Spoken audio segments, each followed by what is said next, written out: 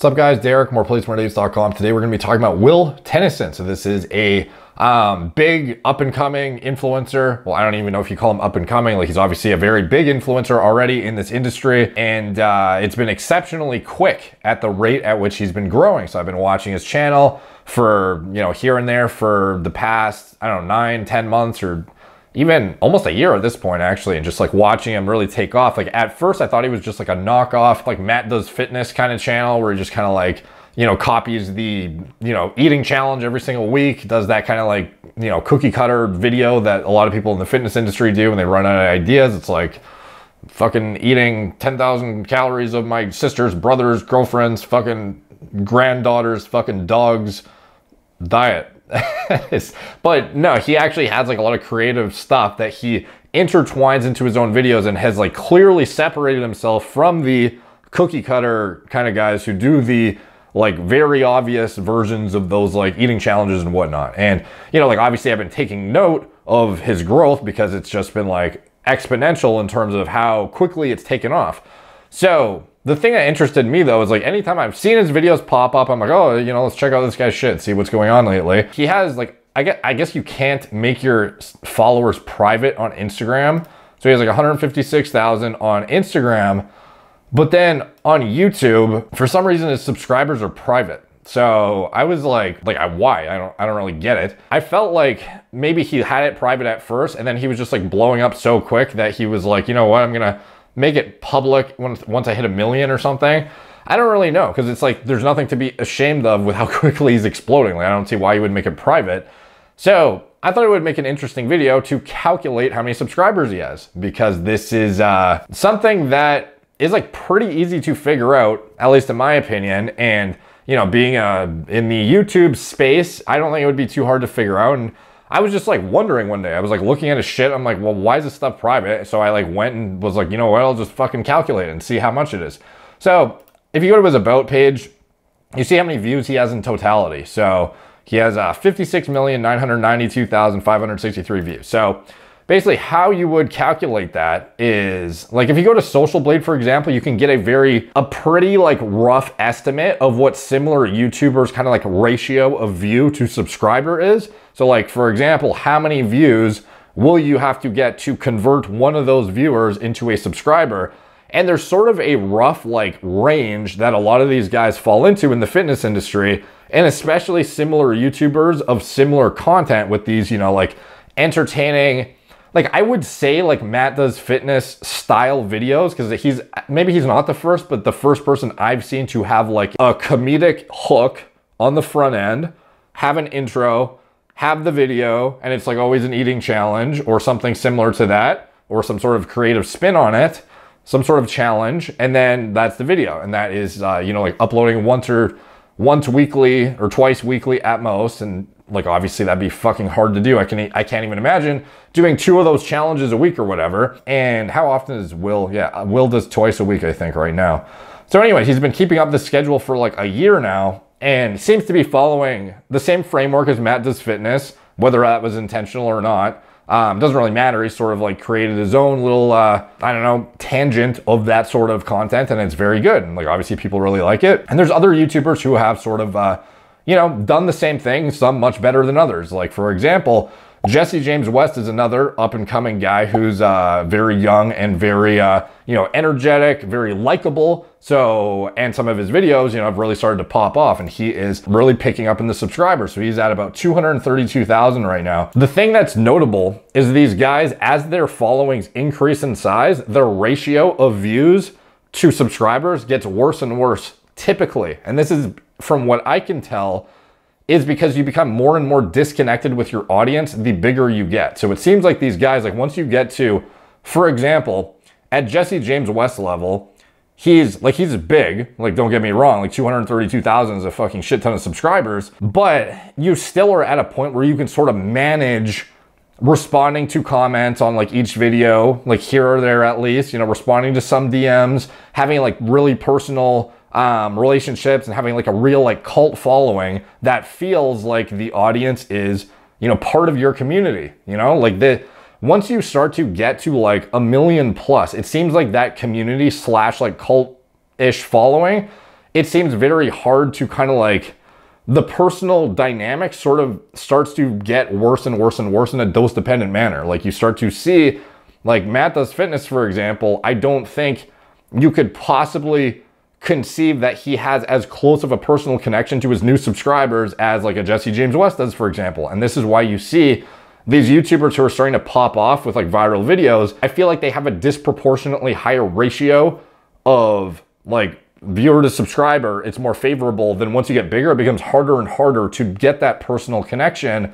where people like you and want to subscribe to you because they actually connect to you on a personal level.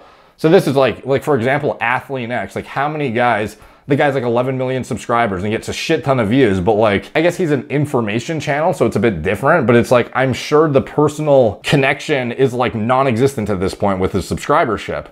So like, I don't know, just to me, it seems like the numbers sort of get like less in favor when you get like, you grow more because you can just like, your algorithm gets pushed like way harder because you have that bigger push on the front end with your giant subscribership and people who are watching your videos which then you know gets you more views which then nets you more likely to get uh, pushed by the algorithm to new people.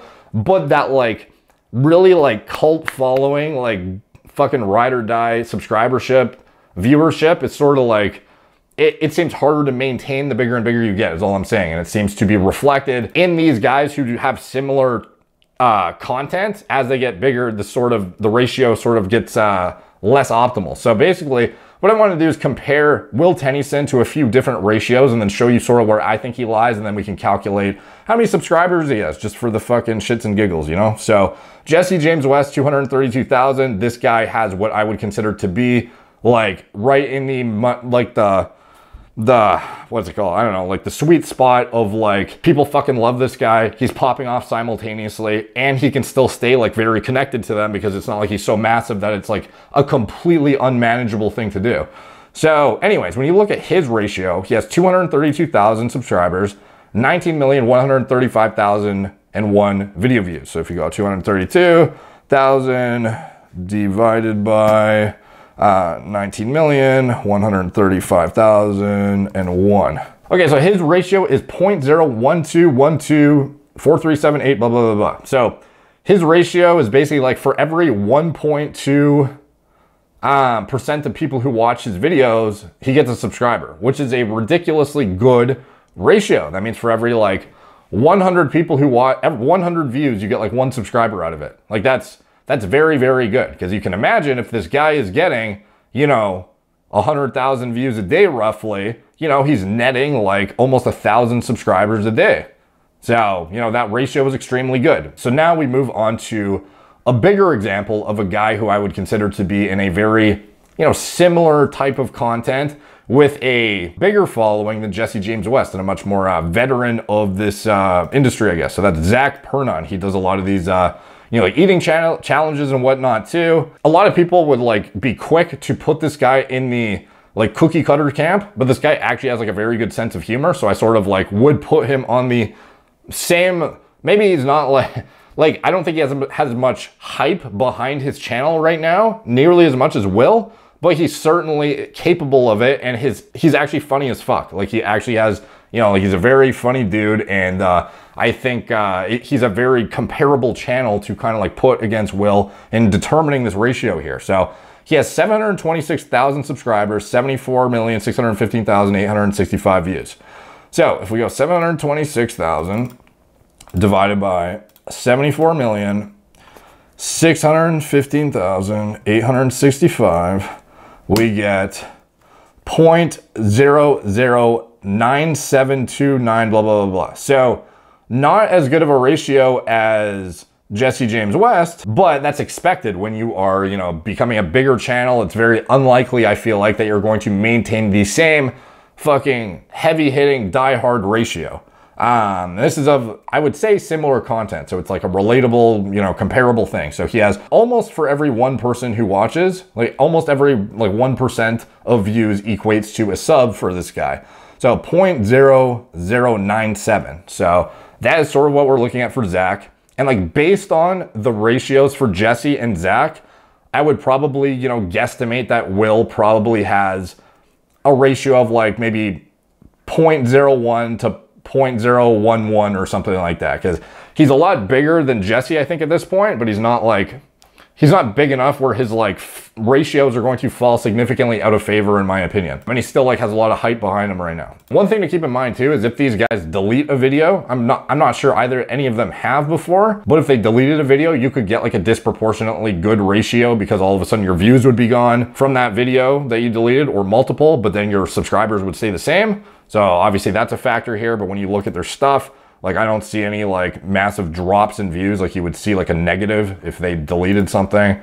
I don't see anything, uh, oh, here's, uh, here, he deleted something here. So whatever that was, that was a little bit of a drop for deleting something. But anyways, now moving on to Matt Does Fitness, the uh, pinnacle of saucy fitness challenges and uh, eating challenges. This guy is uh, the epitome of fucking house aesthetic, natty, fucking this guy is just YouTube fitness in like a nutshell, dude. So, uh, but he, he's a, he's a cool dude. Don't get me wrong. He seems like a very, very uh, nice guy. Very, uh, um, obviously great content. Obviously hilarious dude as well. And also quite fucking saucy. So anyways, he is, uh, 1.97 million subscribers and 265,711,981 the video views. So that ratio, I would presume to be at least lower than like if we're gonna compare him to other like eating challenge guys, Zac Perna and Jesse. We had Jesse at like whatever it was, like 0.012. Zac Perna was like 0.009 or whatever. So Matt does fitness, I would assume to be slightly lower than Zac Perna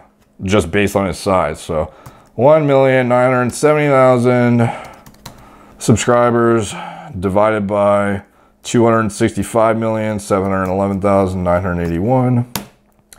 Okay, so here we go. So 0.0074. So even though this guy is like one of the most well-liked guys in the industry, you know, awesome content, fucking hilarious, family man, saucy, like what more can you ask from a guy? What 0.007, which is less than like Jesse James West has almost double the ratio of this guy. But obviously it doesn't necessarily mean that one guy like shits on the other one. It's more so, in my opinion, it just seems like, you know, the disconnect of like as your size grows, you'll gain more subscribers by sheer views, but it's like the ratio sort of becomes a little bit uh, less, you know, tight knit community fucking related as you get uh, bigger. So, anyways, okay, so when we look at Will Tennyson, we circle back. He has the 56 million views, and I would probably put his ratio like I don't know, like he's he's definitely he's new-ish, but he's not uh, like Matt Does Fitness is like a veteran. He's been on YouTube since like 2013. He's been here a while. Whereas uh, Will as far as I know, started posting like, um, let's see, I thought it was like last year, I first, yeah, like one year ago. So like what actual date was this? June 26, 2019. So it's been like a year and like a few months. So like pretty new, but like really popping off. And um, I think he's starting to get to the point where he's going to be getting into like the big like subscriber numbers pretty soon. And he's like, he's definitely well on his way there, but I think he's like just on the cusp of maintaining that like he has a very, very dedicated fan base. And they fucking love him. So I'm going to give him a 0.011 ratio because I don't think it's going to be as favorable as Jesse James West, who has like probably a smaller following, like likely a much smaller following, just based on the, if you actually look at the stats, the amount of views is like one, less than one third the amount. And they have like similar, you know, genres, I guess. Um, and similar like cult followings, I would say. So I'll give him 0.011. So if we take uh, 56 million 992,563, and we multiply that by 0.011, we get about 626,918 subs. So that is roughly my guess. I think he is probably in the ballpark of 600 to 650,000 subscribers right now, which is very fucking good considering the amount of views he has and uh, being this new to YouTube. So anyways, that is uh, my guess on Will Tennyson. And, um, you know, just a random off the cuff video. I was just looking at his stuff and being like, wow, these videos are really popping off. So anyways, that is it. Um, that was just something interesting I wanted to, uh, I was just calculating. I was like, fuck, maybe I'll just press record and make a video. Cause I bet a lot of people are probably curious too. Cause it's like, it's like the only like big YouTuber who has like a private subscriber count. So I don't know, a lot of people are probably curious and that is my rough guesstimate. So